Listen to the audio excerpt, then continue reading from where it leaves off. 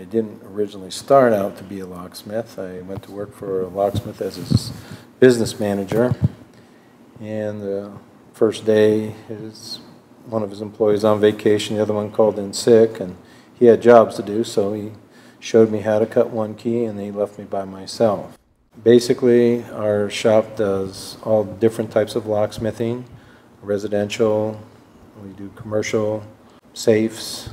My personal um, favorites are safe work. We sell safes. Um, I have opened them. I'm a certified GSA uh, safe and vault inspector. I do work for the government, several police agencies. Started out because it's something you're not supposed to be able to get into, and since I've started, uh, there's probably hundreds and hundreds of safes that I've gotten into. Doing work for a lot of the police agencies, we've gone out and we found a lot of narcotics, several hundreds of, you know, some safes have a couple thousand dollars in them.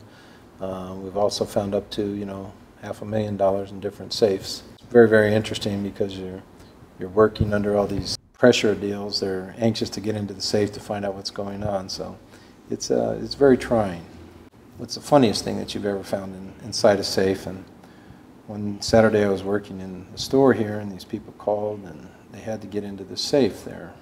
The gentleman's sister was, on life support, and they were getting ready to pull the plug on her. And they found the safe in her house and check and see if there was a will or anything in it. So they brought in this small little fire safe. When we um, popped it open and expecting to find a will, we found um, several pornographic tapes and magazines and such. And we all had a really good laugh. And I think things happen for a reason. And, and because it was almost a sad time, you know, when they're losing a loved one, that this added a little levity to the situation